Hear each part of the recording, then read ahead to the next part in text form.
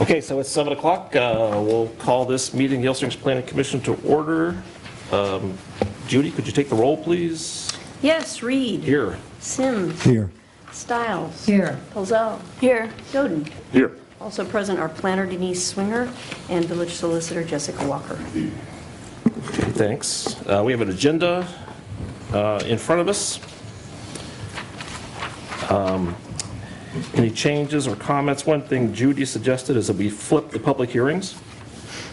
Um, Since Frank is going to have to recuse himself on the brewery thing, if we do the other one first, well, then we can deal with that while you're up here, and then you're not bouncing around, Okay, if that's okay with you. that would be fine. Okay. Is that that okay with everybody? Okay. Um, Next item is review of the minutes from the last meeting.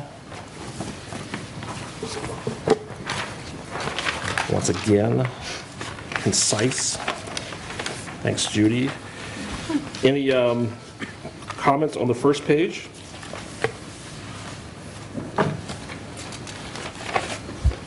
Second page?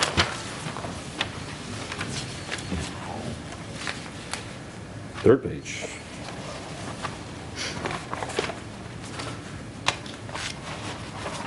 Fourth? And I won't even say about the fifth, since there's two lines on it. Uh, If there's no changes, do we have a motion to accept these minutes? as I move written? approval of the minutes. Second. All in favor? I'm going Aye. to abstain. Aye. Aye. Rose is an abstain since she got here after part of the meeting. Um, Next item is um, communications. Uh, We have some additional communications with respect to the um, uh, brewery application.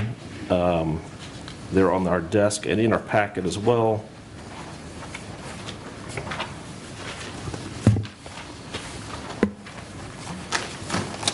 Uh, Next item is council reports. Do you have anything to report?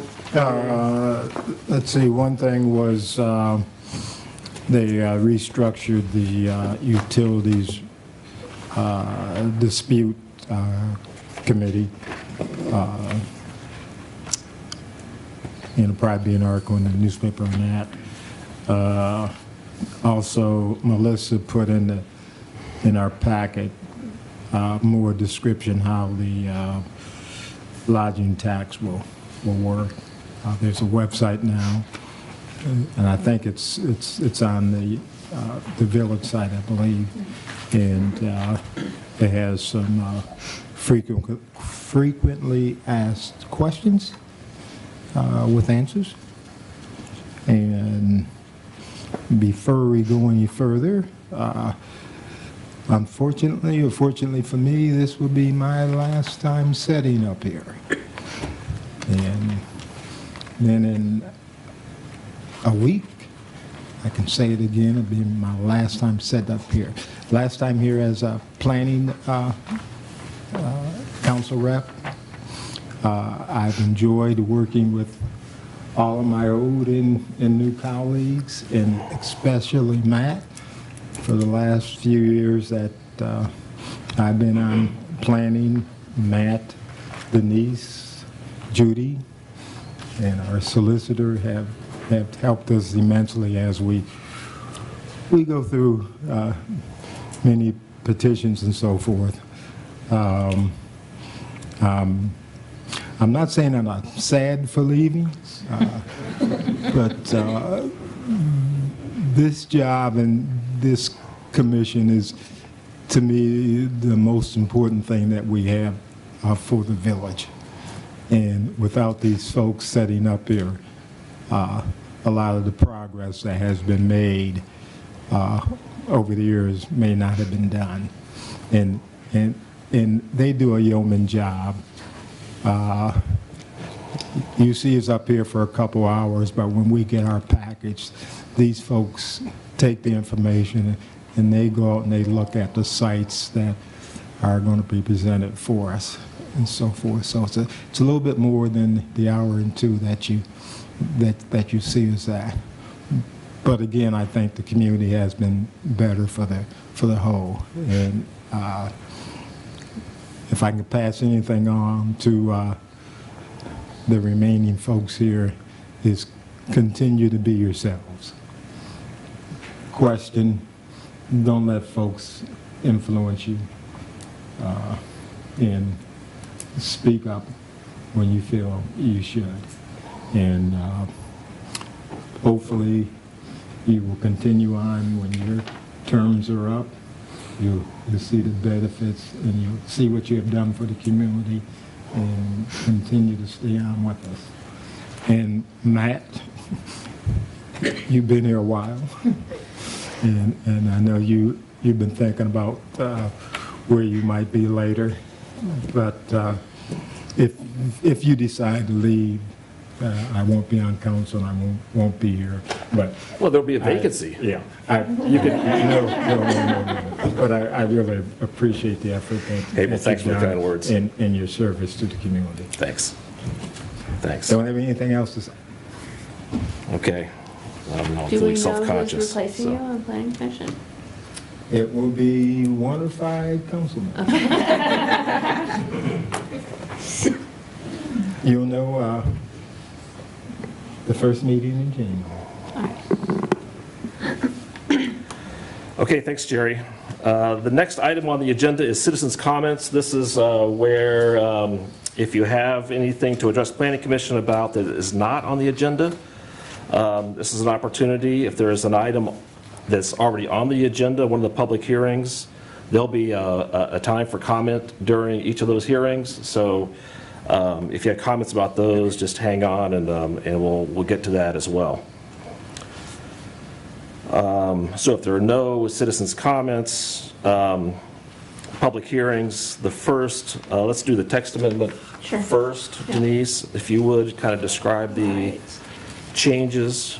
Previously, the uh, short-term rentals were a conditional use, and when the lodging tax uh, discussion came up, um, it was decided by the council to change that language to uh, transient guest lodging, which we've already previously discussed uh, at the planning commission level. Um, What uh, they went ahead and did at the September 5th meeting was to pass a second reading of the ordinance creating the, the lodging tax, and then they went on to um, uh, change the transient guest lodging zoning permit to be a permitted use. So therefore, it's no longer uh, requires a conditional use application form. So we created a permit form uh, for transient guest lodging, and this uh, is going to be filled out by people who are operating transient guest lodging op- here in the village. And uh, what it needs now is a recommendation for a um, exhibit, I think I put it in there as exhibit uh, B, which is Appendix A in the fee schedule in the zoning portion of the code, um, which we, requires that we create a transient guest lodging permit fee. Um, I talked with uh, Melissa Dodd, and she and I, we kind of decided, well, it's like $15 for an accessory structure permit, it's $35 for like a single-family home. Um, This uh, permit is going to be handled not only by me, but also by uh, Melissa Dodd as the finance director um, with collecting of the tax. So we came up with the fee of $25. And I'm asking for uh, approval. Okay. Anyone have any questions for Denise about this? And the definition of transient guest lodging is less than 30 days? Less than 30 days, yes. So when council passed this, did they talk about a fee, or did you talk about a fee at that point? No, I'm taking it to council next. Okay. I was going to ask if there were any other fees for permitted uses, but there are a bunch, aren't there? Yeah, this was, this really didn't fall under um, anything that we had. So I looked at that first, but Okay. it's kind of a unique permit. Any other questions for Denise? Okay, if not, I'll open the public hearing. So the public hearing, if you have anything to say about this inclusion of this fee for the transient guest lodging permit, um, step forward, identify yourself, um, let us know what you think. Don't all rush at once. Uh, Okay, so I'll take that, that there's no public comment on this, uh, this uh, modification to the fee schedule, so I'll close the public hearing. Um, You want to add something? The only thing I I wanted to add is, uh, what, follow up with what Jerry said, is that it is now on the website, so you can actually do an online application, um, how, which can then be submitted online. And then what will happen is, once um, I've reviewed that, uh, I'll contact you, and, and then we'll issue the permit and, and the fee. The problem has been, I've had some calls from people, but because we don't have the fee yet, I'm kind of having people just wait a little bit, and you can go ahead and fill out the permit, but we're not actually issuing the permit till we establish this fee. So that will happen at the next council meeting. Anything else for Denise? Do Why, we- why are you waiting if there is no fee right now? Shouldn't it be, There is no, there is no, nothing. I mean, we don't, there's nothing, there isn't an application yet. There's the application that I have, has been which I need to approved. go, but I want to go to council with it too. Okay, Um, And, but I don't, there is not any category for it, okay. so. So council just said it's conditional with an it's- application? There's no condition. Or It's wi- permitted. that it's It's a permit. permitted Mhm. with an application and a fee, but they didn't state a fee? But there's no fee been established yet. Okay, but they did establish that there would be a fee, just not what it was? I don't think there was a discussion about No. it at No, all. I no, think it that, wasn't. that, you know, the discussion has primarily been around the process and, and the, the permit and the um, frequently asked questions that people are gonna come up with and the, and how they're gonna file But we the haven't, tax. But as far as actually having a fee established. but we for the haven't, um, given any permits yet? permit. No. Okay, but people have been applying, but we People have been haven't. asking questions, Okay. yes. Mhm. Is this a a one-time fee application? Okay. Yes. I think the fee is very reasonable, and it makes sense to be doing it. Yeah, Thank you.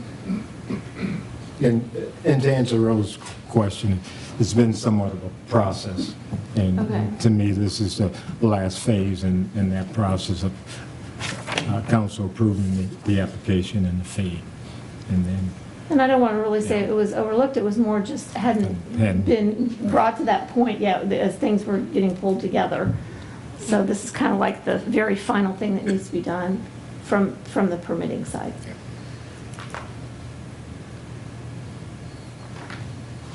Any other questions? If not, we have a motion to accept this text amendment and forward it to council. So move. Second.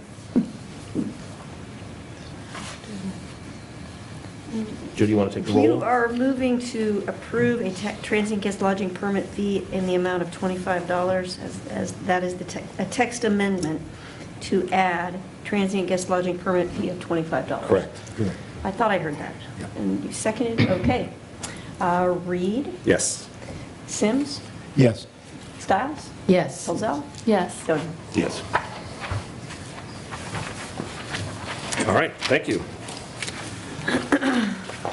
Okay, so the next item is the conditional use application and site plan review for the uh, Yellow Springs Brewery to establish a brew pub on, uh, at 1475 Xenia Avenue.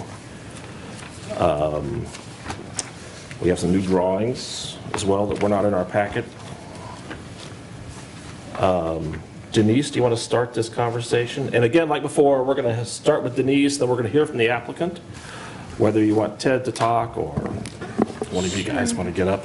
Uh, Then we'll have a public hearing, so anyone who wants to comment uh, on this uh, will have that opportunity as well. But first, we'll start with Denise. I'll just give a general overview. Um, This is, uh, I received a conditional use application for the purpose, as you said, of establishing a brew pub, and this is going to be a um, building for private events, uh, and then a retail area for merchandise of goods and product. Um, There'll be a section uh, for uh, the actual manufacturing of the craft beers, and a- as well as a section for cold storage.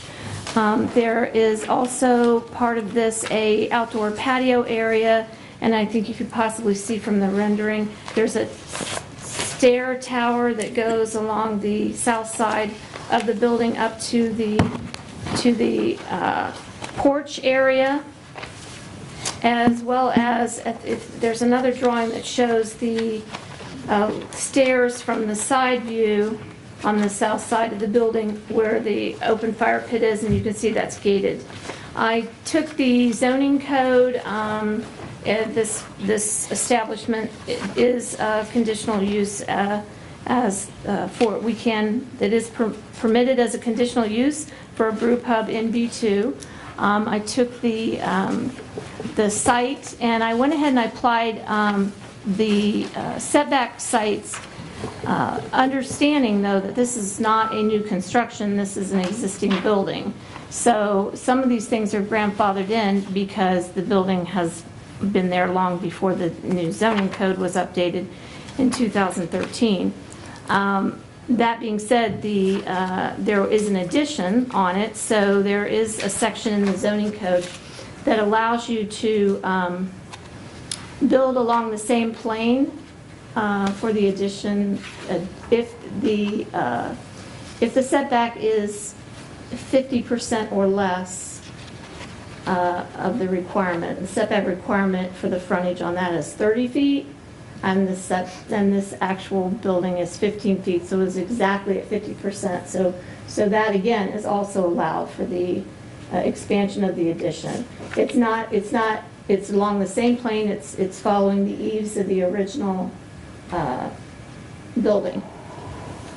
Um, So further on, examined um, the parking requirements, which we'll need to have a little bit more discussion on because, uh, you know, we, it's kind of hard to evaluate. There's a lot of different locations uh, when you add the outdoor patio areas, but then again, um, and we'll have to hear from the applicant, if, if you're following what the occupancy requirement is for the brew pub, then they have plenty of parking spaces. If you're not, if you're follow, if this is, if this is gonna be brew pub, plus can also have additional people in other locations, then that might change that. But It, it definitely goes above that, and I, and I figured those different scenarios into this. Can I ask a question now? Mm-hmm. So, because I know you had several different things about parking, and mm-hmm. the higher one was 70. Mm-hmm. So that- was that calculating That was all the taking- space? all- That was taking in the fire pit area. Sure. Dimensions, the uh, upper rooftop patio, and the brew pub Okay. itself. Yes. And, and that may, that may not be the case. I mean, my understanding is you're going to have this event at the brew pub, and then people can transition to these other locations. It's not going to be like, I'm jamming into the brew pub, and then, oh, I got to go outside because there's no room in the brew pub. kind of So thing. they're going to limit the number of people that would We be, need to ask that question. okay. Yeah. And um, I also put information in here on the noise uh, levels that are required against a residential area. This, um, there is a residential district that abuts this property. Uh, There is an alleyway in between that of about 38 feet. So most of the activities as far as people and outside are closer to the Xenia Avenue location. They are not at the back of the property where the residential area is, but we also want to talk about that. Um, Also, the, uh, there's going to be two coolers that are going to be placed on the outside, and, you know, we want to ask about that as well, as far as noise. Um, And I think those were probably my biggest concerns. Um, Do we know where the coolers are going to be at this point? They are on the south side, and there's, they're going to sit in between, in between, there's a, uh, a loading area on the south side, and there'll be a place on both sides of that. Um, So in this drawing, sort of like right in front of where the Prius is, where those white patios are, is that where the coolers are It's on the going? other side of that. There's one there and there's one on the See, other see side. that, see the, the drive that goes all the way? Yeah. The black area that goes all the way up to the uh, door there, the Yeah. overhead door, on both sides of that. Yeah, so in front of the Prius and then on the other side of the Yes, driveway. correct. And um, The car. the storm swale design, I just want to talk a little bit more about that. Making sure the volume size is okay. Um, This is, you know, typically you have a uh, site plan review. Um, I didn't feel it was necessary to have like a full storm water pl- management plan for this because it's an existing site. And there, the only thing is this addition that's being added onto it. And the addition that's being added onto it is um, impervious surface, just like what was there before. So the whole property is pretty much asphalt or building Already. already. Mm-hmm. Okay, any other questions for Denise right now? And if not, to Lisa or Ted or Nate?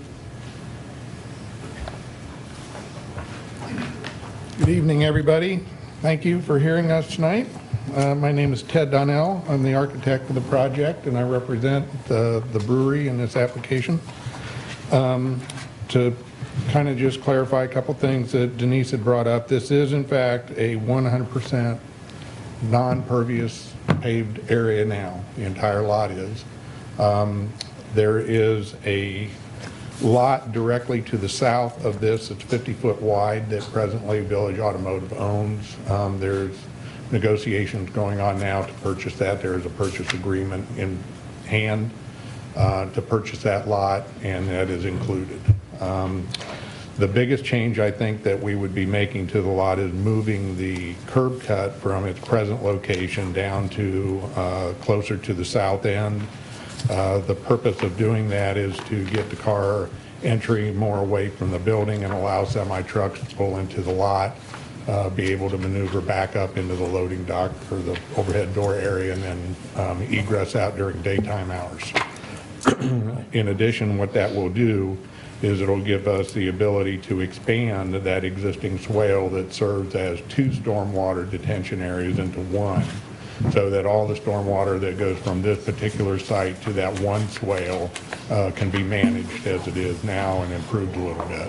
Um, But I have never seen, or there's been no record of anything in that um, where there's been stormwater backup or issues relative to flooding because of the site as it exists now. Um, All the downspouts and everything will be tied into that basin uh, via some other ways of getting downspouts into that basin. Um, What we're adding to the site, we, we were here uh, maybe a year and a half ago when the brewery just purchased this property. Um, We applied for an application to make this a a storage facility along with a corporate office. Um, Since that time, things have changed with respects to the brewery. Uh, And mostly it it evolves around the fact that the tap room as it exists has events going, and private events going on so frequently, and it's becoming more and more popular to do that. And it's starting to really interfere with the function of the tap room. And so you've got folks that are using this event place in the tap room and patrons that come in just to drink and taste the beer and do whatever, and it's becoming a big burden, and it's overpopulating that space. Um, Since this opportunity came up with this building, it seemed like a really good fit to be able to have these private events in this space. So it's being called uh, YSP Private Party. Um, That is not to say that in the event, um, in the future, if something were to happen to Millworks, that this would not become a tap room and um, replace that if something were to ever happen. Um, Certainly, it doesn't have any bearing as far as we're concerned on our hours or anything like that. It's still going to be considered a brew house, um, a brew pub. Um, All the beer is made on, on site, it's sold on site.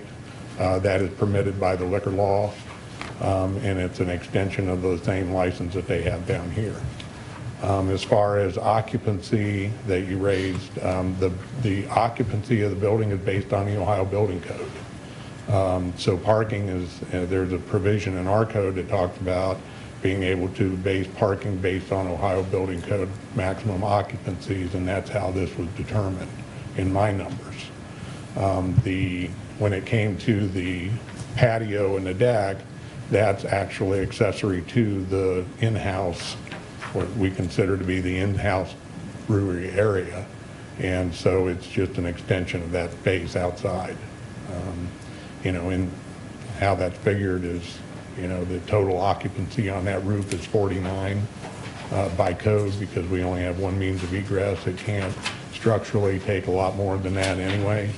So, you know, we're limited on our population in the building. So what's the limit, you would would you say? What's the what? What's the limit that you've, what's the number that you based your parking space calculations on? for Um, It's occupancy? based on loose tables and chairs, one occupant for every 15 square feet or something like that of usable floor area. So what's the What- head count? What is the number? The, the head count was, I think, 100, 110 for the brew pub. Okay. 49 would be for the upstairs, and the retail space is a walk-in. So it'd be, I don't know, like three or four, not very many, three or four employees, four employees, I think. Um, Other than that, I think, you know, I'd reserve the right to come back and answer questions. You know, I'm sure there'll be questions, but it's a lot easier to answer questions than to throw it all out there at once. We're excited about it. We think it's a perfect fit for the B2 district. You know, it's really going to upgrade that neighborhood. It's, uh, you know, the, in the zoning code rewrite, we actually had an overlay district for that district so that we could try to do things and give us more tools to promote that district as a B2 district. And I think this is the, my goodness, this could be a good catalyst to get things going up there. You know, I wish the Mexican restaurant had, you know, six more months or whatever to maybe piggyback off of some of the stuff that was going on here, but it would definitely help, you know, any restaurant. It's going to help the bank, it's going to help YSI, it's going to help all those businesses down there. So unless you have any specific questions. Yeah, anybody have questions for Ted? Yeah, yeah, I do. Um, I heard you say that um, the uh, Ohio code determines how many people can be on the rooftop and so forth. Yes. Uh, Given that there's been, you know, news lately of overcrowding and, and sites, say similar to this and so forth, uh, how, how do they plan on controlling the number of people that may be on I mean, they'll control it by, simply by head count. You know, I mean, if it looks like there's too many people gathering up there, they've got to do a head count and get them off. I mean, that's a management thing. We do that all the time. Um, You know, and in fact, in any, just like the inside, if there's, every time you walk into a restaurant or any assembly space, there's a maximum occupancy posted sign. Um, You know, and just no different than here. There's one, you know, maximum allowable occupancy, 60 people in here. And, and my, my other question is, I was trying to find, I, I saw the, the entrance to it, uh, but I was trying to find another exit. Um, It's on the north side. Um, That drawing, it does- we've actually revised the floor plan a little bit, but there's a- an entry to the north side that goes into the village automotive site. Okay. I- Is that through the warehouse, or is that? No, it's actually now through the, uh, the actual brew pub. Okay. In the newer plan. Okay.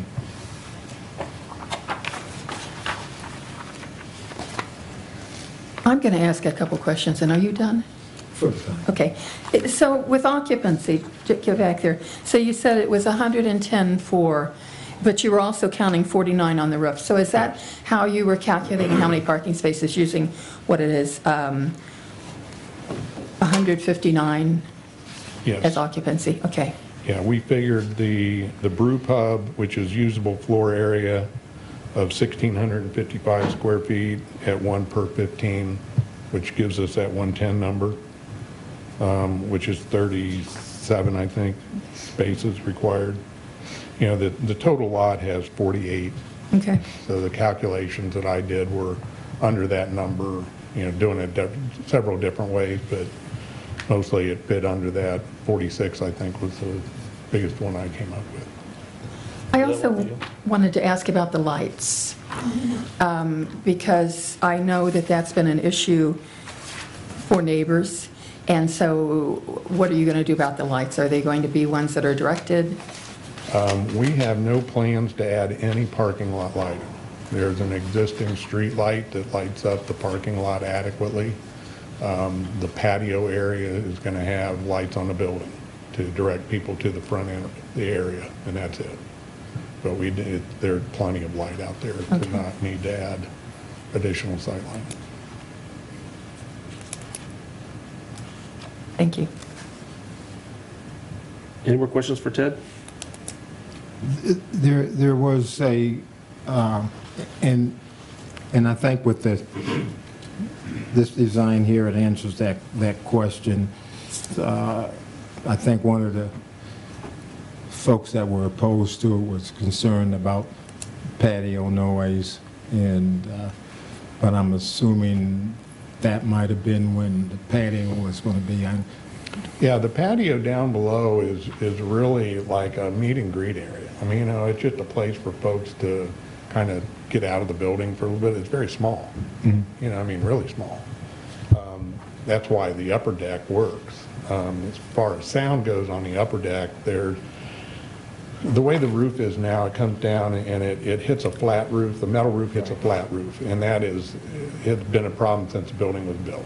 So there's water leakage, there's some, you know, building damage and roof damage as a result of that. So a way to get around that is to, what we proposed is to pop up a center section of that and then create a cricket for that old existing roof to be able to go divert to the sides.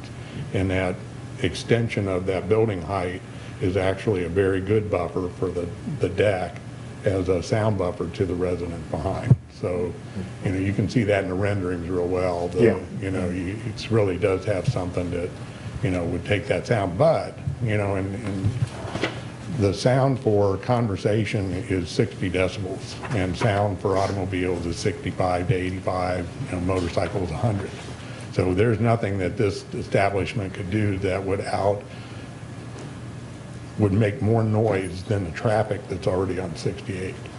Um, So having to, you know, buffer it is, you know, our position is simple, that we would live within the noise ordinance in terms of decibel level. If a resident has a problem, just like they're doing now, if there's a problem with sound, you know, call the police, the police will come down and everybody will get shut down. And, um, you know, the brewery has been very, very, very responsive uh, to any kinds of complaints. They've had two in five years. So, you know, it's respectful clientele that goes in. And it's a little different too. I mean, you know, we designed the atmosphere. The atmosphere of the brewery is a social gathering place. It's not a sports bar. There's, you know, no TVs in the brewery. It's about, you know, socializing and, and doing things that are relative to a tap room. And this is an extension of that same thing. You know, the events are euchre night. You know, I mean, it's. things Is like it, uh, are there any thoughts about it being a, like, a music venue? If it were, um, if there was a band in there, it would be for um, an event. You know, if somebody had a wedding, Yeah, they might very well have a band in there, but that would be inside. There isn't any place to put a band on the outside and still get parking. So there's never an intent to have, there will be no band on the roof. Okay. Guarantee you that. um, have you talked about hours yet? Uh, We you listed go the that? hours Yep. in the application. I had a qu- question. Denise uh, Rose reiterated those as well, I believe. Yeah, just, you know, for everyone, for, for record.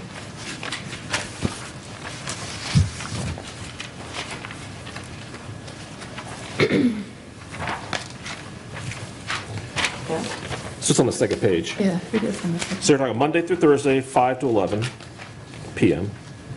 Friday, 3 to midnight. Saturday, 12 to midnight, noon to midnight, and then Sunday, noon to 10. How do those differ from the existing, the, uh, at, Millworks. thank you. Hello, I'm Lisa Walters. Um, Our current hours at Millworks are Monday through Friday, 3 to 10, Saturday, 1 to 10, and Sunday, 1 to 8. And I would like to point out that those, these are hours that we believe most of our private event uh, requests will come within. So they're not necessarily exact proposed hours, but we expect those to be what is requested. Yeah. But you don't, do you expect to have events every weekend and every day during those hours? Well, we would like to. Yeah. Um, We would like to be open as often as possible. Um, We don't really know what will exactly happen, so I I really can't answer honestly, but we would like to. Okay. I just had a que- question about the hours, because I really support what you're doing, and I think it's just a wonderful addition. Um, But I wondered, since the Sunday hours are noon to 10, and it is the, because there was one family that wrote a letter to us, and they're concerned about the sound, and I can sort of understand that, because that's a time when although hopefully the sound will not be going to the residents, we don't really know for sure at this point. And so during the week is when kids are going to sleep for school and parents for work. So I wondered if the Monday through Thursday, if you could try to have it 5 to 10, so that it would make it more in line with like the Sunday time, that it's just a little bit more reasonable. Um, Certainly a possibility. Um, I, my request, or our request, Nate and myself, is that we would like to keep options open for folks, because we don't know exactly what type of events will be coming, or if, uh, you know, I can imagine sometimes folks, uh, we've had this request for a children's birthday party that could start at 11 o'clock on a Sunday morning, for example. Um, We just would like to leave ourselves open for the possibility. Obviously, it's not something that is going to happen every single day of every single week. I mean, it just, we just don't know, but we like the possibility. The earlier I didn't have a problem with, it was the mm-hmm. later. It was more the bedtime, so the 10 mm-hmm. PM, trying to keep it during the week, the hours that kids are going to school. Mm-hmm. Well, it's, I mean, it is a business district, right? And if you were exceeding the limit of what is allowed, someone could call and you would know then that you were exceeding the limits of what were, you know, someone could either call your business or call the police, right? If they're exceeding sound, or... Yeah, exceeding sound. You know, if someone were bothered. Uh, The police carry, a- they- they've got a sound meter. So if there's any kind of nuisance complaint about noise, they carry a sound meter, you know? Yeah, but Ted, I mean, they don't use that thing, and they, I mean, Well, no, they have, I mean, I, I know they have it, for sound. it's, I've Very never imperfect. had them. Huh? it's very imperfect. Well, true. I mean, and so is the design of sound. I Yeah. mean, Yeah. if, you know, if, Yeah. if, from a, from a professional point, if, if, from my calculations, and the data shows that conversation, even loud conversation, is still under the limit of the noise ordinance. You know, so if, if you're going down the road of, we're going, we want to limit your, what's permitted by the noise ordinance on your sound, I want to know how that can, we can enforce that on any level, legally. It's not, you know, well enough designed to. I would love to figure out a way to design sounds that are lower than the ambient sounds around it to protect somebody from those sounds that we're generating. It's impossible. And so, you know, from a design point of view, it's like, wait a minute, don't ask the impossible of us Right. to enforce something that's, that we can't literally do by engineering. Well, the police can't measure it really Well, accurately. You know, a car, i- they would pick up the sounds of the cars and the trucks, Mm-hmm. you know, and, you know, as much as they, probably more than any kind of verbal sound. You know, band, that's a different issue. You know, you Yeah. could hear a band. And, you know, that's not the intent, it would be inside, so. Yeah. Well, and, you know, there's a, if, if this is really a concern, there's some things that we could, we could include. We could limit the hours, we could limit the hours of the deck, right? So that, And that's really what probably, right, the outside Well, I noise. don't, I don't think. it- Or you just not worry about it and see, you know, The, the way, the, the way the deck and so forth is designed in, in the photograph that I'm looking at, uh, there's gotta be a heck of a lot of noise to get to the back. Uh, I'm- Well, and it's I- I just- intended to be at the very, you know, it's at the very Right. west side of the property. Yeah. and, You so know, I- adjacent to you the know, road. I, I, I would be opposed to, to, to limiting the time the u- uses of the deck. I think that would, that, that would kind of take care of itself, given the season. Yeah. And one would think that during the, the summer months, the deck may be, you know, with an event may be more populated, but that's when kids are out of school anyway.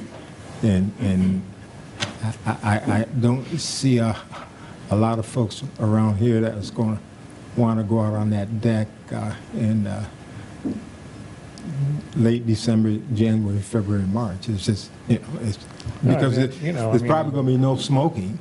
No. So, you Absolutely know, no uh. Um, It'll also be, you know, it's on the west side. Yeah. It's, you know, getting the afternoon sun, it's going to be hot up there.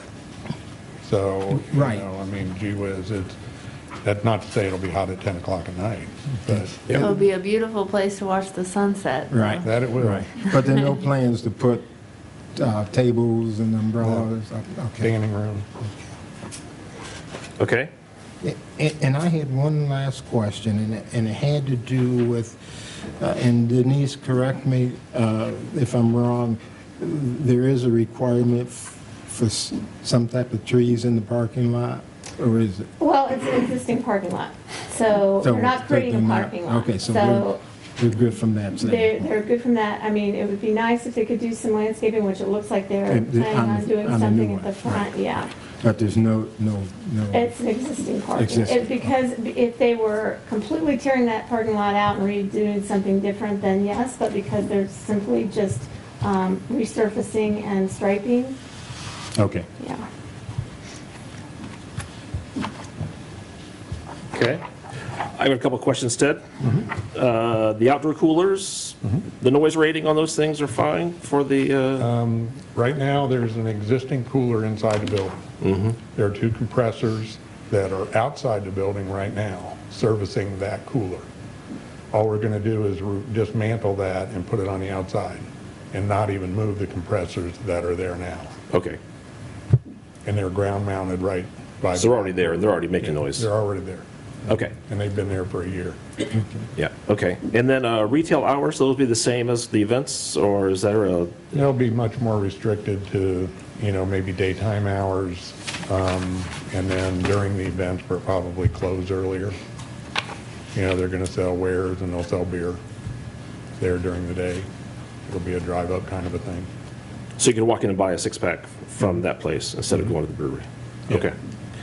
And the hours on that are going to be the same in terms of that range of hours as you've identified? Correct. And, and from a practical side, you know, during the day, there's a lot of stuff going on in just the manufacturing. I mean, it's an employee, they're making beer. Um, right. So it tends to get busy. They, they could open that retail store earlier in the day if there's a demand for it, but usually it taps along with the events or, you know, when the tap room is open, or the. I, I couldn't tell from the design, but how do you keep the, the, the people that are coming to buy the beer at the retail store from going into the private events? I'm just thinking about increasing the numbers of people. I mean, they could, I suspect. Um, You know, the, I don't know, they could. I mean, I don't know why not. But, you know, an event's an event. If you are unwelcome, you're unwelcome, but if it ever were to turn into just a strictly brew house, you know, then it would be open to the public regardless. Not that that would make, you know, that doesn't make any difference as far as But you still, but you still follow, like right now, um, you have an occupancy allowance for there. At that point, you just stop letting people in. Now, the way the code's written is that they want to convert this to a standard, just a brew house, they need to come back or not? There is no difference as far as I don't the think there zoning is. goes, oh, I don't- I no. don't- We're ap- I don't- asking As long as for you're an limiting the application for it number- to be a brew house, a Yeah. brew pub. Except if we put conditions on what we're allowing, That's right. right? Yeah. Right. Yeah. Correct? Yeah, So that's- like, right. your application is for a brew pub. Yes, Your application is not for a tap room. no. But if we were not to say that it is strictly not allowed to become a tap room based on this permit that we would give you, then you could do that. Is that how, how it's being thought of? No. If we, if you, a, a brew pub is a permitted use with conditions in that district. If you put on the, any restrictions that prohibit it from being a brew pub, No, from being a tap room.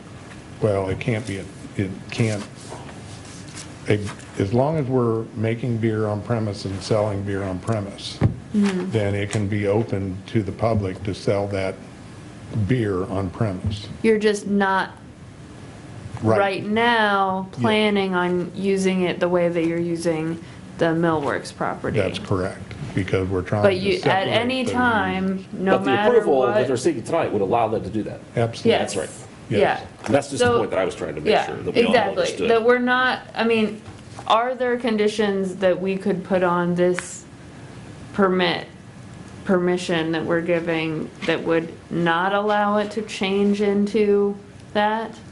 I don't No. think so. So that is what we were approving right now. A It- pub, yeah. Potentially, In- yes. Potentially. Yeah, here's a scenario for you, if you did that. Let's say you put a condition on this that it could not be a brew house with, for, like a tap room. And somebody bought Millworks and closed and they had to be out of there in 30 days. Yeah. What are you going to do about it? Are we going to go through the process of having to come back before planning commission and they can lose that potential business in town? I don't think anybody wants to go there. And so, you know, my, my opinion as a consultant to my client is you want to have permission to do what that district allows you to do, which is to have a brew house, you know, a brew pub. Ted, I don't think we can say that you can't have a brew house because Right. it's already approved It's a with permitted- condition. It's a, Yeah, it's a I conditional agree with use. Saying that. Yeah, we can't do that. Right.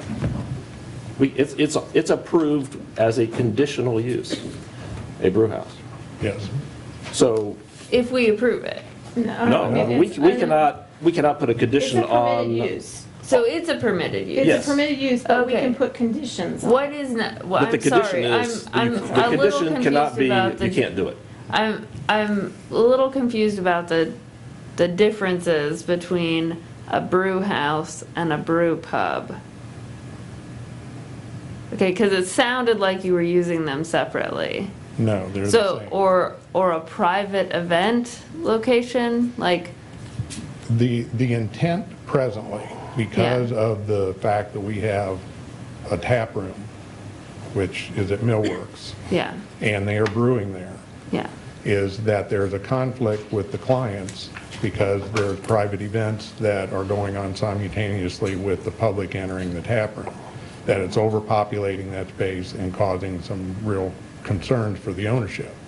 So what they're doing with this new venue is putting it as an event space. However, there's always a, a potential that it could become nothing but, But Similar food, to a drink, but- entertainment, hospitality, brew pubs, and similar establishments, bars, taverns, restaurants serving alcoholic beverages are all conditional in this. So we, we would be allowing all of that yes. to be allowed in that That is, location. they are permitted to be in that district Yeah, with conditions. conditional. Right. Yeah, With a, So we With- can't say yeah. you can't do that because Right. it's already approved. well, I mean, if they were, can, if we approve this, are we also approving food trucks at the, that Uh, location? I- I'm going to talk about food trucks later. Well, we'll But talk- we'll- we'll what get I'm the- saying is, is Food it, trucks are not allowed in, in B2, but I need to do more research on that because I, I'm not quite sure why. Um, They're It always conditional, right? Okay, but Okay. in, in B1, they're allowed, but in B2, Uh. there's no, s- you see, there's nothing there, it's blank.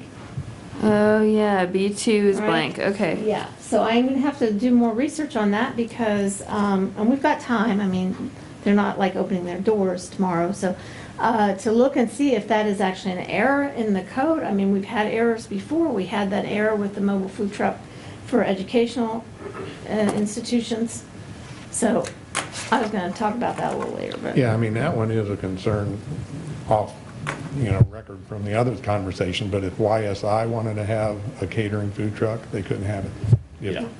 As it presently is, and that's not the intent of that district. Well, like, for example, like, are we, you know, if, um, Well, actually, Ted YSI could because they're industrial. we, we Uh-huh. wanted, Yeah, It's just if, for B2. some reason B2 is if we not- wanted to allow you It to could be be a code error. a, It's a mistake. a brew pub, but not have outdoor patio seating, could we do that? Because they're separate in this?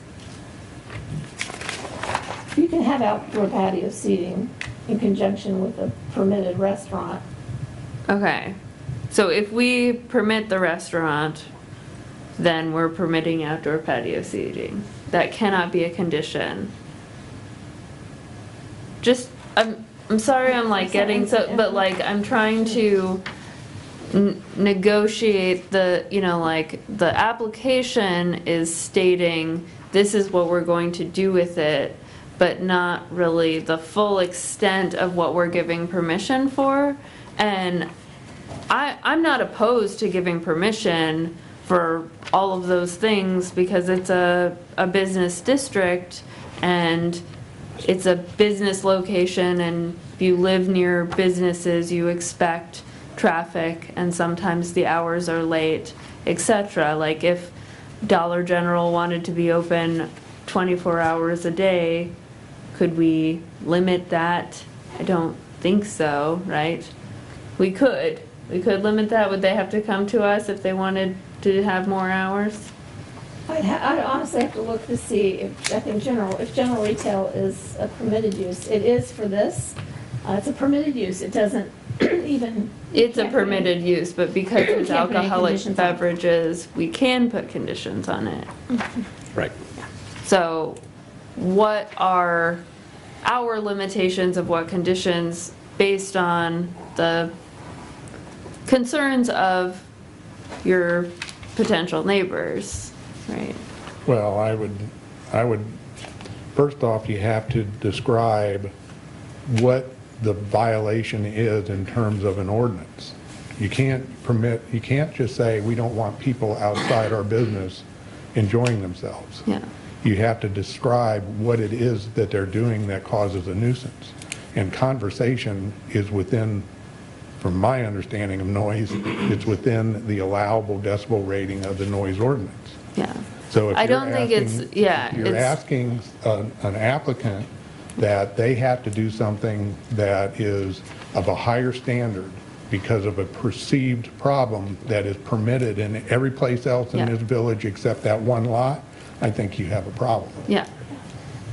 And that's why I disagree with limiting it to 10 PM or, I mean, like, I,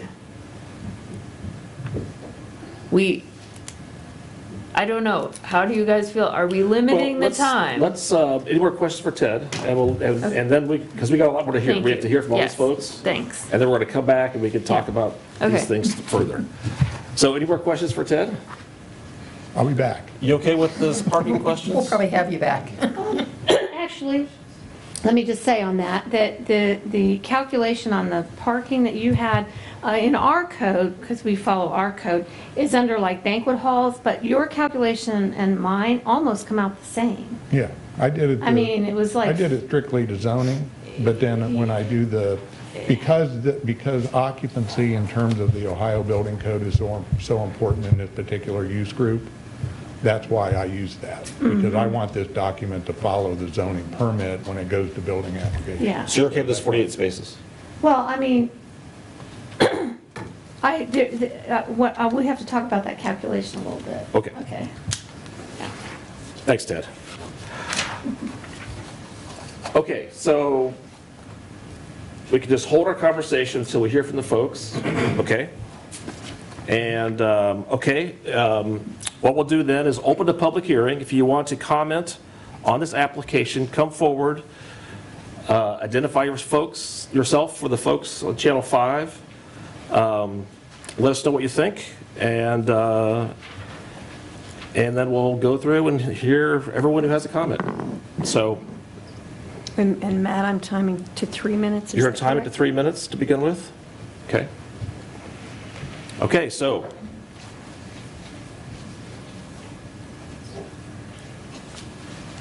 someone's got to start.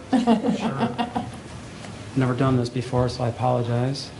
Um, I have a position. name? Your name. Oh, I'm sorry. Uh, David Kent. Okay? Uh, I'm not sure of the the procedure, but I I do have a petition with some signatures from area residents uh, concerned about the noise issues. Okay, Uh, May I present that sure. to uh, Commissioner? To the clerk. So I'll- I will file that if you don't. Um, Three minutes. All right. Uh, My family, we've lived on, we live on Lisa Lane, uh, right across uh, Southgate from this uh, location. Uh, We've been there about 12 years now. Um, The neighborhood has always been very quiet uh, at night. Um, The uh, residents around the area, everybody works, they're folks with kids, families. Um, The um, proposed hours is, is the thing that we're most concerned about, going past 10 PM, because my understanding is that's the current village noise ordinance, is at 10 o'clock. Things need to get a little more quiet, sort of a thing. Um, Because it's going past 10 o'clock, and they're, they're pretty vague in their packet of uh, how long these things can go. It may go to 11, it may go longer if that's what the customer wants. Uh, And they talk about things like weddings, so, you know, lots of celebration, people are going to be happy, they're going to, that sort of thing, if it goes on and on. Um, The the reason that we're so concerned is because we do have jobs, we do have kids in school. Uh, We can't perform well if we don't get sleep. I can't, I can't perform my job well. My kid, my child, uh, personally, my child, she can't do well in school because she's tired, you know? Um, And it's not just kids are only in school in the winter. We start in August. Yellow Spring School starts in August, and it goes until June. Uh, There's still quite a bit of, of nice weather and things. Uh, So folks are going to be out, again, they're going to enjoy the weather, it's not going to be hot out, it's perfect weather to sit out on the patio, have a few beers and things. Um, Unfortunately, it only takes one person to really create a noise issue, meaning shouting, singing, really getting into it.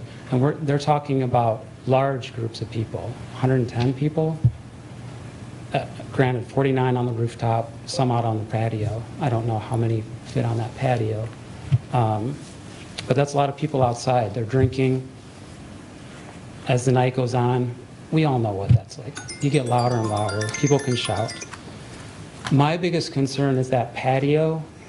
um, The, see how it points? It's going to collect, it's like a U shape.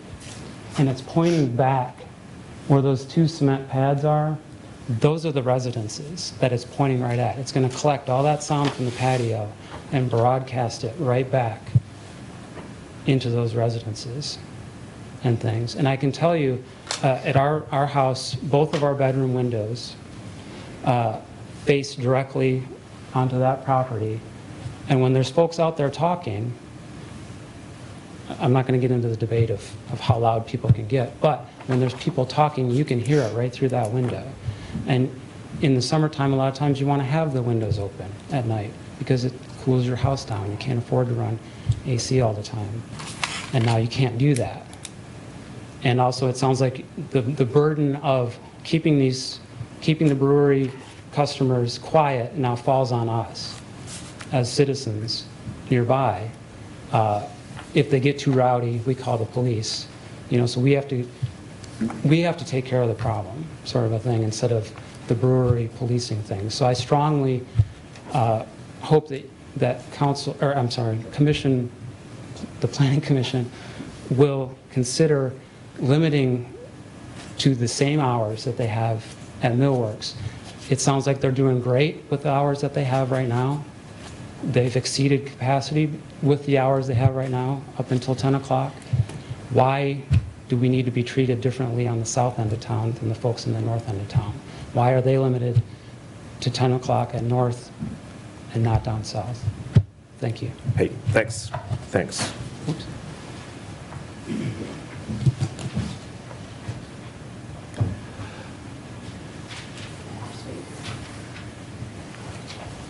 I'm Sally Malone. I live at 120 Lisa Lane, um, two houses from Southgate, which is across from the apartments. And I don't believe any of the apartments got a letter.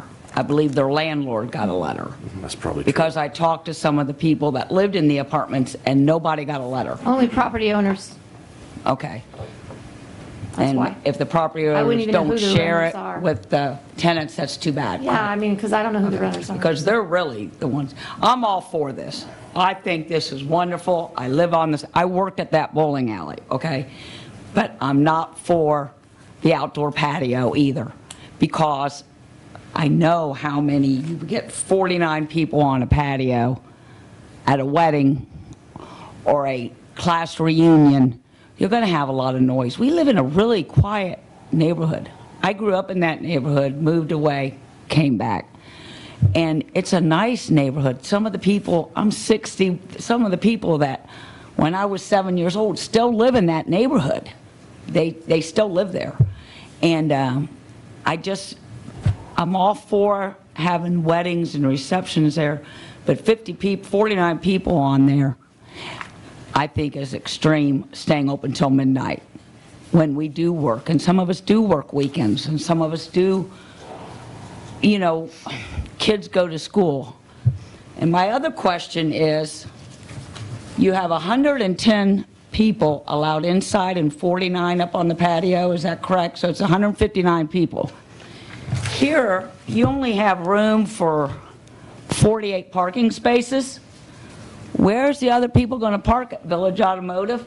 At the dollar store? Most people go by themselves or with their spouse. Xenia Avenue, is everyone going to park on Xenia Avenue? Are they going to park on Southgate or at the doctor's office?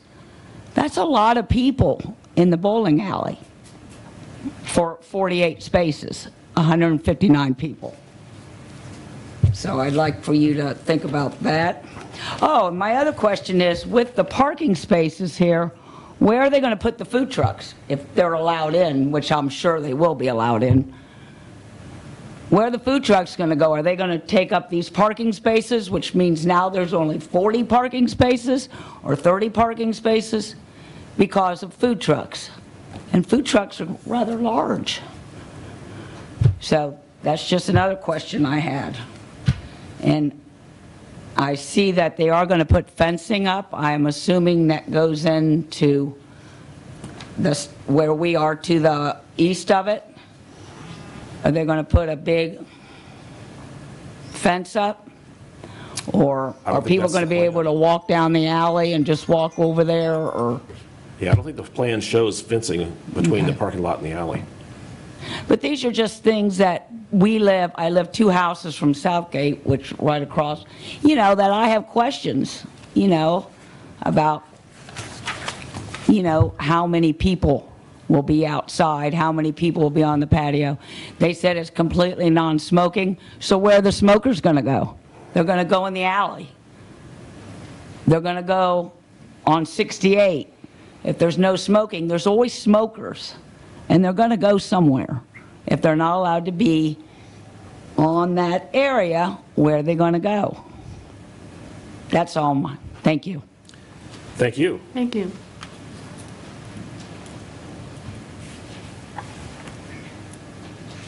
Anyone else?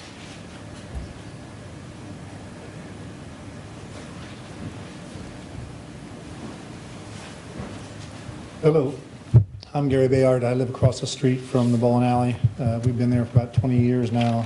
Uh, My wife and I both work at the base. We get up at 4:30 in the morning, feed our animals, so we're early risers. Uh, We've been there through the entire time that the sports bar, center, whatever you call it, was there. And there was a little bit of noise, but not nearly as much noise as there used to be from the IGA, trucks coming in and doing things. And because the way our house is situated, it sits up on a hill, so all the sound travels up. The same with Dollar General now. However, all the time that the sports bar was there, and there had been some big parties, some bands and so forth there, we never had an issue with noise. I mean, just as you said, there are more loud trucks downshifting coming down 68 into Yellow Springs, and there's an awful lot of noise. Miami Township rescue folks coming through with their sirens going, a lot of noise. People always leaving town, gunning it, whether it's motorcycles, vehicles, or whatever, a lot of noise. There's just a lot of noise out there anyway. With the rooftop uh, section, I don't see that uh, as much of a problem as, again, you know, there's going to be conversation up there. Someone mentioned the fact that people at- at the uh, current tap house are very respectful, and they are. People are enjoying themselves, they laugh a little bit, but there's no one yelling and screaming. It's not a crazy wild time. It's not that kind of establishment. And I think because the way the new design is, I think it is going to muffle a lot of the noise going towards the back. Uh, My daughter used to live in the apartments right behind the bowling alley when the actual sports bar was there. And we've been over there quite a few times in the evenings when the, when the sports bar had uh, bands and so forth.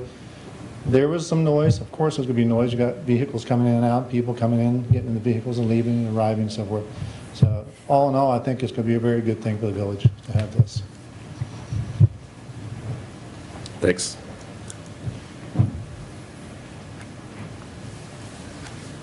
Anyone else?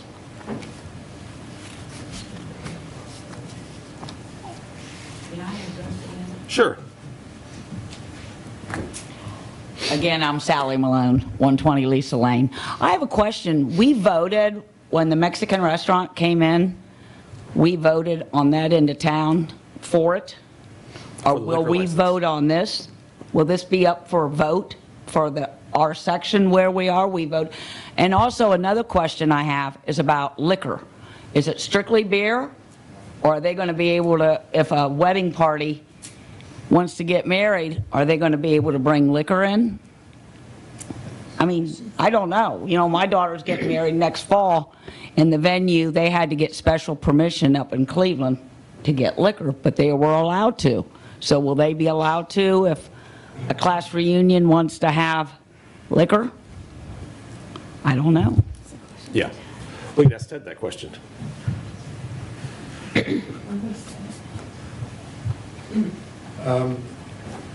The liquor license that they have now allows you to serve only things, only beer that you make on site, period, end of story. Um, In the long term, if the venue looks like there is a potential to house um, other events or clientele that would allow other liquors to be included under that license, that would have to go before the vote I have to go before the voters in the Yeah. precinct? in that precinct, yes. Okay. Because that's what we But not voted for, until- for the Mexican restaurant. We voted for the liquor license. Yes, but this is strictly for anything that, only things that you make on site you're allowed to consume, Okay. period.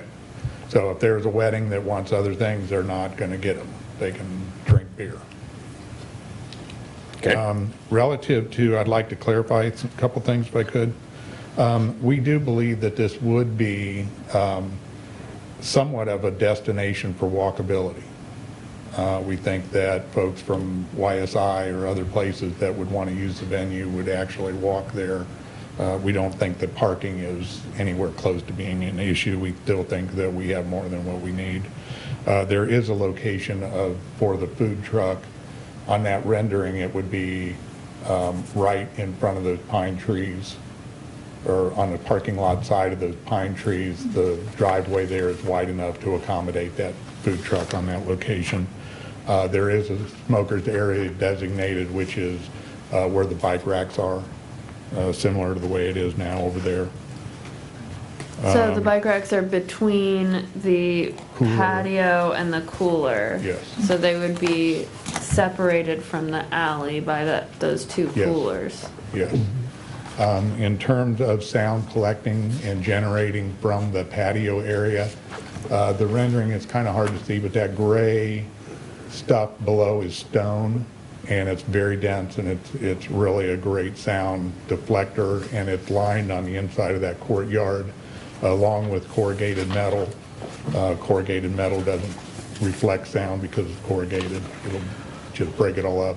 Well, I think, Also- Ted, the concern was like to the uh, east, though, where I think you just show, Yeah, the, the coolers are actually gonna stop. I mean, they would. Can we look at the, can you bring up the picture that's like into the ground floor patio?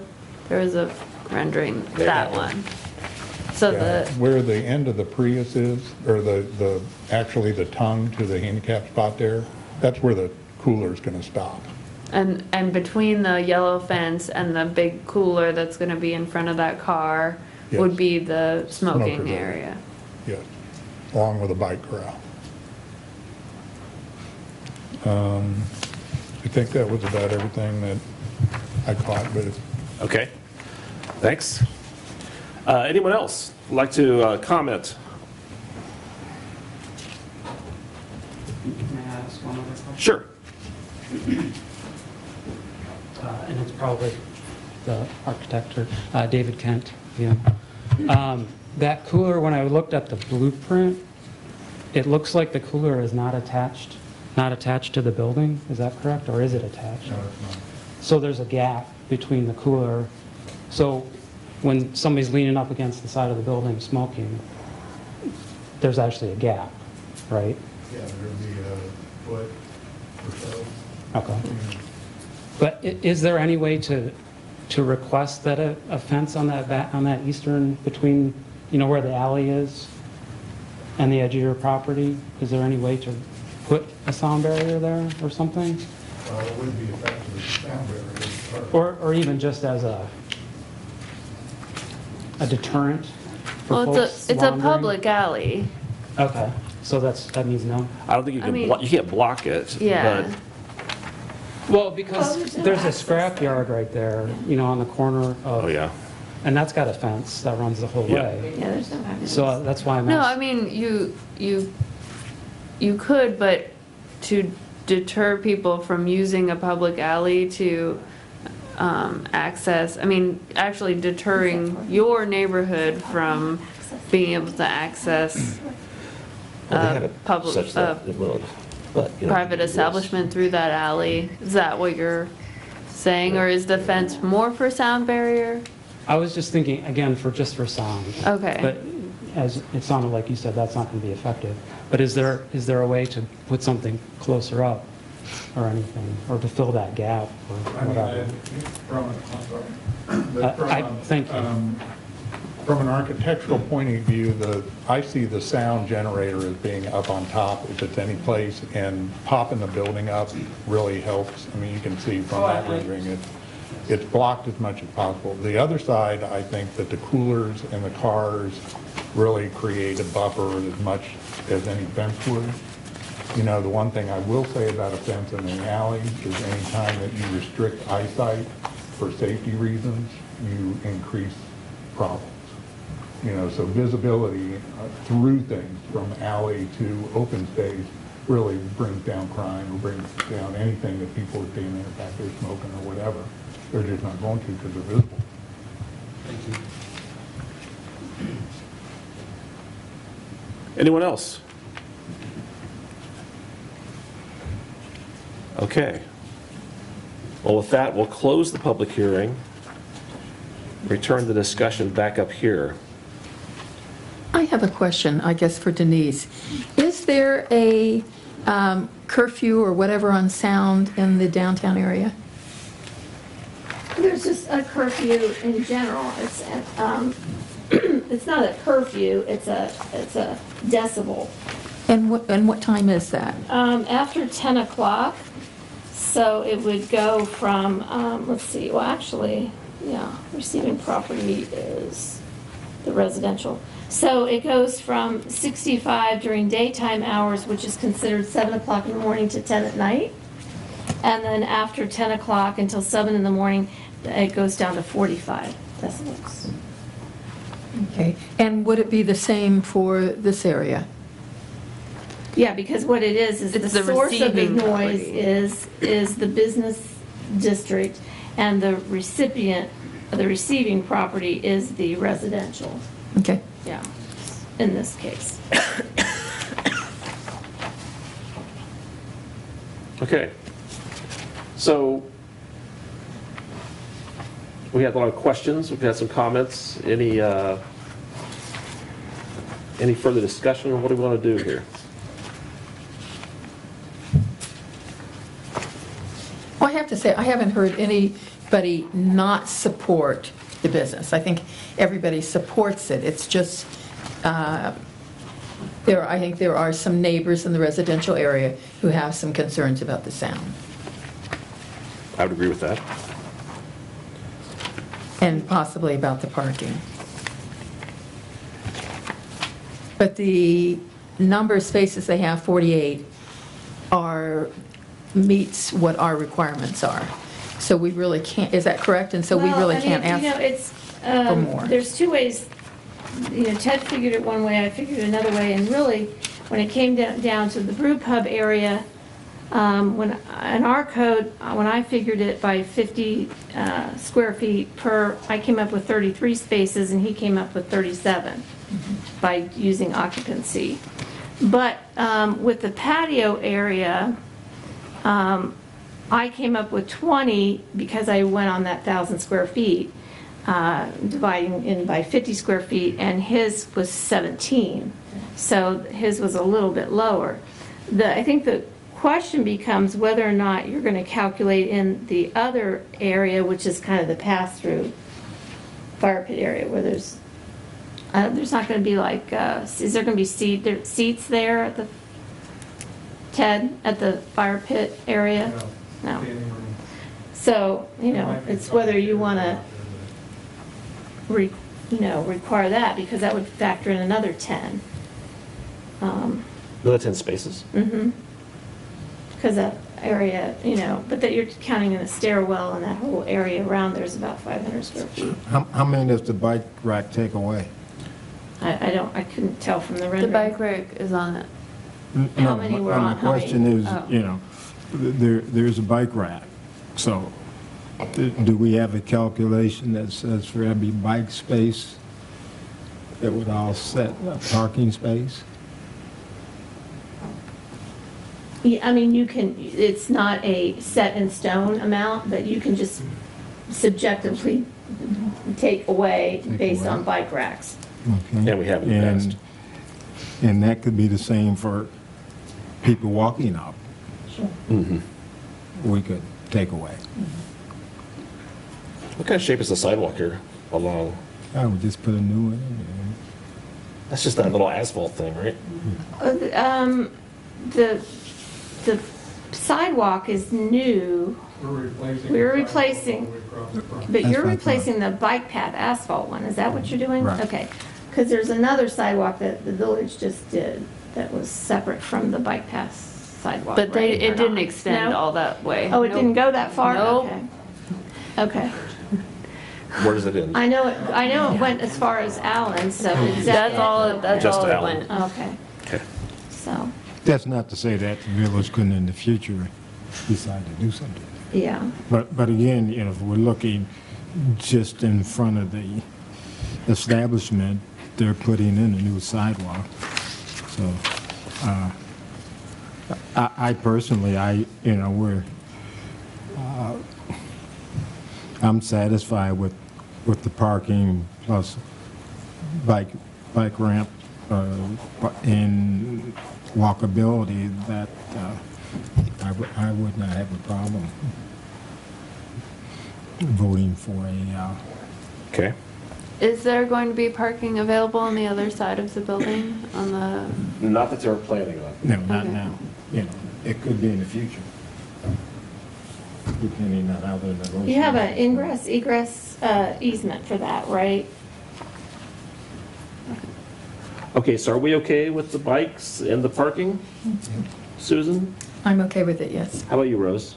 yeah, I feel comfortable with the parking being, um, Okay. 48 spaces and bike. With the bike rack. bike and walk. Okay. And w- that's not us giving them any leniency, it's just allowed. Yeah, yeah, but, yeah. It's what's Well, there's some- required. There's different ways of calculating it, if you include the patio or not. But if we're okay with that, then that's, that's fine. So the other question then is, are, what about the hours? See, I'm going to have to say, I'm leaning towards, and I don't know if we can say, because I guess I see that there might be an event during the week that somebody wants to have it later than 10. I would rather, if that were going to happen, that it would be occasional, and that they try to encourage the people who want to use it, well, you know, these are the hours that we like to have it during the week, uh, 10 PM, the limit, because I, I understand the concerns of the families. Uh, I lived in an area near Antioch for quite a while, and, you know, and that's different, it's a campus, uh, but it was when uh, many more students, and there was always a sound problem, and when there always is a sound problem, they- you're absolutely right, the burden falls to the neighbors to call. Well, it's quite burdensome to have to call all the time, and maybe you decide with your neighbors, you talk, well, you're going to call one day, you're going to call the next, but it's just, you know, it- it's sort of beyond that. You'd rather, we are the planning commission, so it's nice to plan for these things ahead of time and not to wait until, you know, and if we see it's not an issue, perhaps then we could say, okay, you know, it could be, they could be open later. But that's my concern, is, is the sound. Yep, okay. My take on this is that the number, number of events that I've attended here around town and uh, since uh, 1965, they normally don't run up to the time that it's to get over with and people start to leave. Um, People start filling out about an hour before sometimes up to half an hour, and, and then they start filtering out. Uh, there are very few events that I've attended here in, in the town over the years that I've been here that everybody waits till the witching hour to leave. And uh, so uh, I'm inclined to say with at least the events that I've attended down at, uh, down at the the brewery, they do come around well before they're closing to say last call for this, the last call for that. And, and I think that uh, they would handle the party house the, the same way of uh, giving folks a, a heads up. And, and it's two things, it's for their safety and for their time to, to, to clean up.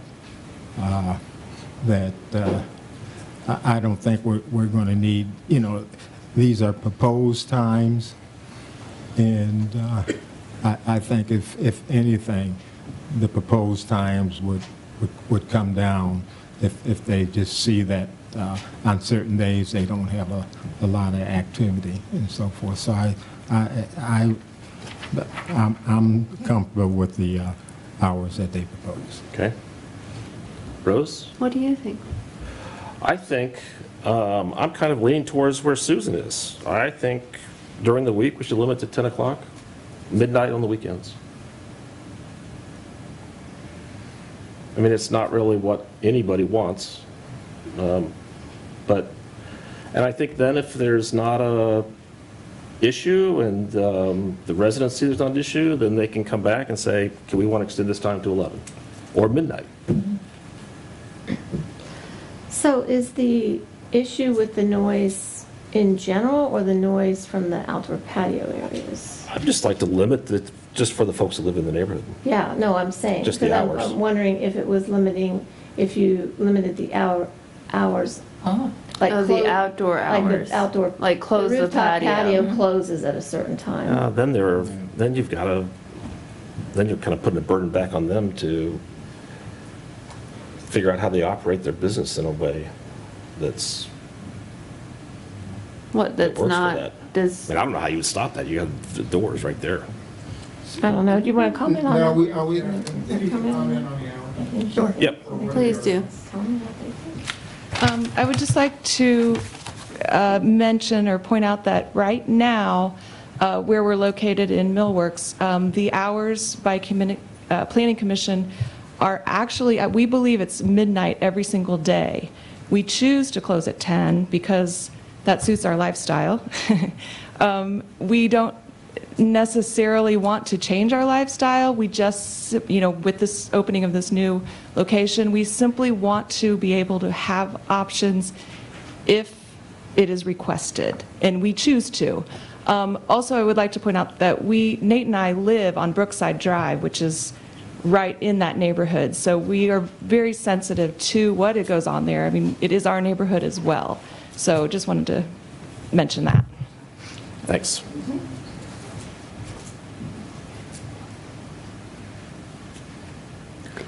Back to you, Rose. Um, so do we know if that's true?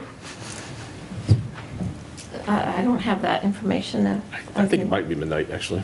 I mean, I have The to go pull the conditional file. use for Look it up. the brewery? Because I, I feel very uncomfortable, um, restricting it more than what we've already restricted it there. You would like to leave it as proposed? I not yeah yes I would be um, because of because of how the property is zoned. I don't think that it's going to be open until 11 every day of the week. And I I think that if it was a roller skating rink or a bowling alley, I don't know if in, that served alcohol. I don't know if we would. It just, it, it's a business district, I guess is, I, I Yeah. don't, I don't know if the addition of beer really creates more noise than if it, there wasn't Yeah, alcohol okay. there. Okay. Well, what do you think, Susan? Well, I guess I'm sort of sticking with what I, I said. Uh, Because you talk about alcohol, I do know from, I have friends that live in the business or near the business area in Yellow Springs, and the bars do create problems, and they talk about it. Um, You know, they're not complaining, but they talk about it.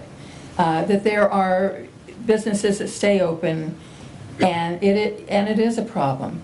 Uh, Now, you know, they live near that business area, um, and the bar was there when they, you know, purchased their property and that, and so, so they live with it. So I think when alcohol is involved, yes, voices do tend to get louder, or can, not always, but I think that they can. Uh, People get excited, happy, laugh, talk loud. We've all been places where that happens, and I'm not saying that that's going to happen every time, but it just seems like it would be nice during the week to be considerate of kids and working folks.